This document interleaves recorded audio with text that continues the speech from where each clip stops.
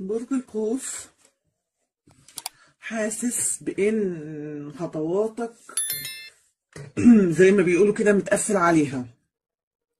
كل ما تيجي تدخل من ناحية تحس إن هي مقفولة. تدخل من ناحية تانية تلاقيها مقفولة. الشوارع مسدودة. حاسس إن أنت تعبان ومتضايق ومخنوق. والدنيا ضيقة عليك قد كده.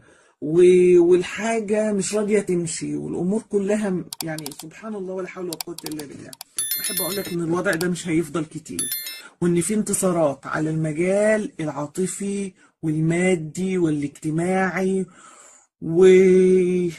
والعملي وكل المجالات إن شاء الله فيها انتصارات وفيها نشاط زيادة ليك في الأيام اللي جاية يا برج القوس. عايزة أقول لك كمان إن ليك انتصارات وليك تحقيق للأهداف إن شاء الله. حاجات كنت مش منتظر إن هي تتحقق حاجات كانت مقفولة ومش منتظر إن هي تتفتح. إن شاء الله ربنا هيفتحها في وشك ويبعت لك اللي أنت بتتمناه.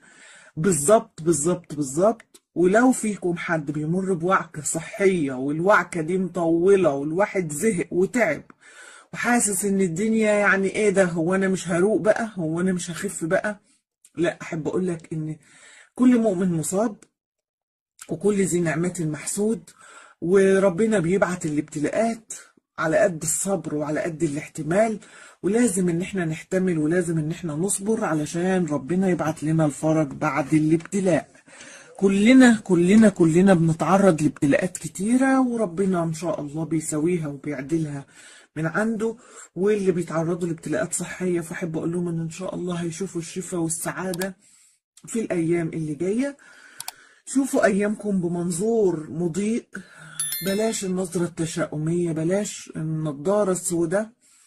إن شاء الله في انصلاح للحال. وبعد الصبر الطويل الطويل على الألم وعلى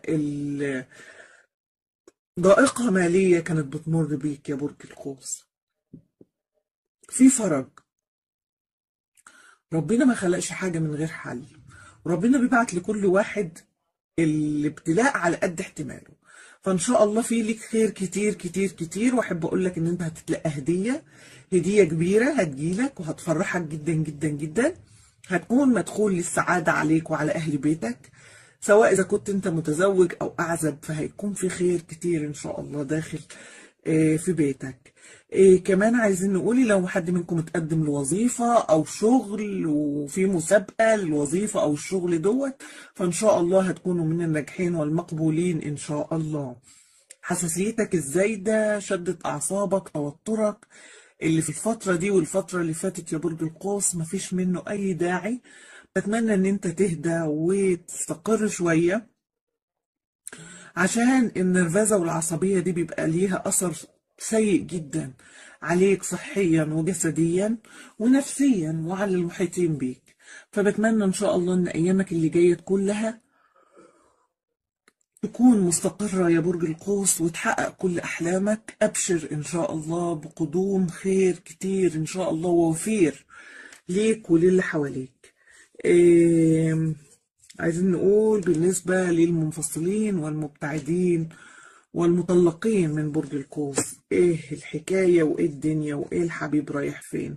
عايزين نقول إن ليكوا بناء من أول وجديد وليكوا رجوع إن شاء الله وفي ليكوا تحقيق أمنية غالية برجوع الحبيب ليكم وفي طاقة استشفاء للقلب وللروح هتخلي أيامكم اللي جاية كلها كويسة.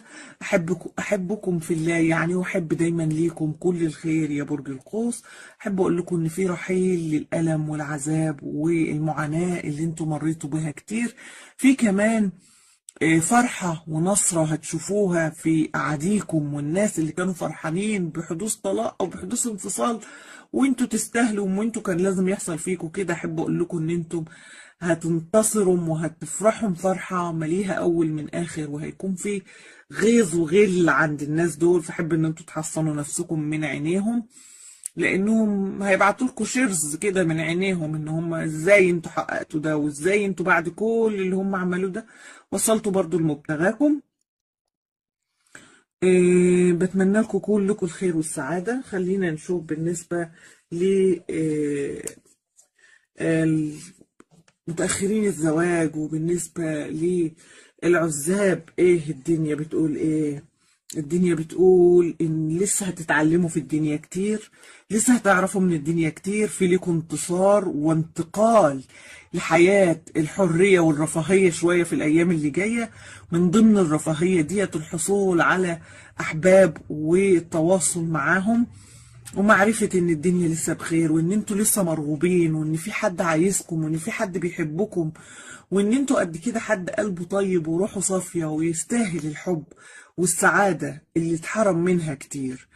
آه، معظمكم أو بعضكم آه، هيحصلوا على الحبيب أو الشريك ده من أراضي تانية من بعيد من سفر من بلاد تانية بعيدة عنكم قوي. ممكن تكون حتى بينكم سفر طيارة هتعرفوا عليهم من خلال النت هيحبوكم ويتحبوهم وأول ما الأزمات دي تزول فهيجولكم وهيتموا من الخطبة والزواج. والتقدم في مشاريع للحب بكل الحب وبكل الوفاء إن شاء الله وبكل الإخلاص هيكون في نجاحات كبيرة جدا ليكم يا برج القوس على المجال العاطفي من آه، المتأخرين في الزواج والعزاب. آه، أيامكم كلها كلها يا رب يكون كلها فرح. بتأسف جدا لأن ما بقدرش إن أنا ما بدعيش. والناس اللي بتتضايق إن أنا بدعي فتغاضوا عن هذه الجزئية يا ريت ما تنسونيش من إنكم تحطوا لي لايك وتشتركوا في القناة وتفعلوا الجرس عشان يوصلكم كل جديد. آه خلينا نشوف حبايبي وحبيباتي من برج القوس اللي يعني اللي اتأخروا في الإنجاب الدنيا فيها إيه واللي واللي معرضين آه للحمل إن شاء الله ومعظمكم معرضين للحمل. وهتحصلوا على الحمل يا برج القوس. آه عايزين نقول كمان إن بالنسبة للأشخاص من برج القوس واللي بيعانوا للأسف يعني من إعاقة جسدية أو نوع من أنواع الإعاقة فأحب أقول لكم إن ربنا هيعوضكم بالحب اللي يحسسكم بأنكم مكتملين وكاملين ومش ما ما بينقصكم شيء أبدا بالإعاقة الجسدية. البني آدم لما يبقى معاق جسديا أحسن ما يبقى معاق ذهنيا وعقليا ومش قصدي على ذوي الاحتياجات الخاصة لا أنا قصدي لما يكون البني آدم عقله واقف وجامد ورافض للتقدم ورافض للتطور وبني آه أسود من جوه للآخرين. فإن شاء الله ليكم الخير وكل الخير. خلينا نشوف قراءتكم العاطفية البحتة في خلال الكروت الرومانسية بتقول إيه لبرج القوس؟ بتقول إن في حب حقيقي هيدخل حياتكم أو حب حقيقي موجود في حياتكم إن شاء الله. فليكم انتصار وليكم كيد للأعادي إن هم هيتكادوا منكم وهيتضايقوا منكم. خلينا نقول إن في إكمال لزواج وخطبة و فرح وفرح و- وحياة سعيدة رومانسية مليئة بالحب والسعادة. خلينا نقول كمان إن في منكم واللي إن شاء الله إن شاء الله هيكون ليهم يعني شفافية زيادة لدرجة إن هم يبقوا عارفين اللي جاي فيه إيه.